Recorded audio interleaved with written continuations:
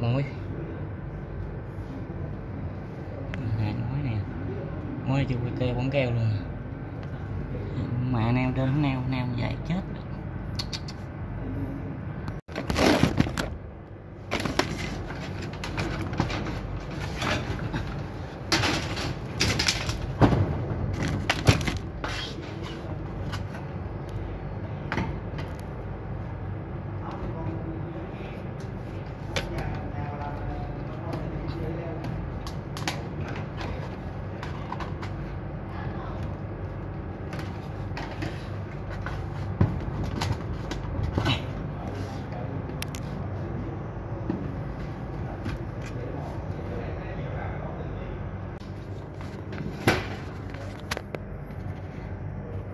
Cái này cái trộn luôn chứ không phải cái trộn đó nha.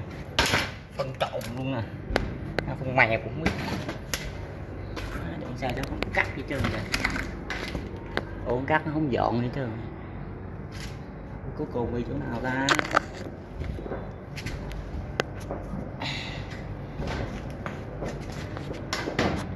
Đây thì mới đây. Coi coi đây ổn nha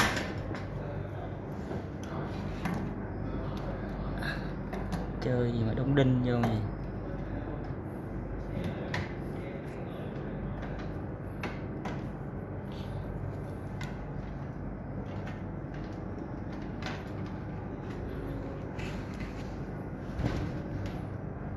dây điện đó, cái dây này là đi được trước cắt bỏ.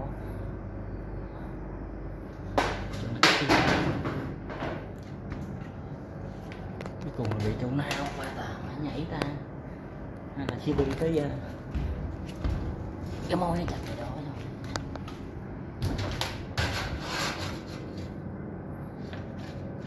Ok. Ê ê ê, đây đây đây đây em ở đây nè. Đi nhảy cái chỗ này nha mọi người. Nè thấy chưa? Nè đây nè.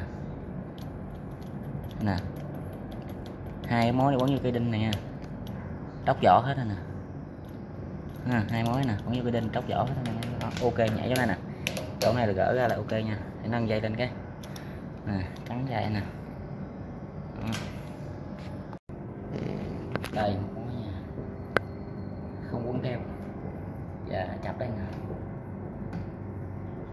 Đắp vỏ hết nha. Ừ. Đó, chọc vỏ hết đây cái nước cắt bỏ ra chứ đúc lên được thì quấn keo không đúc cắt bỏ luôn nha.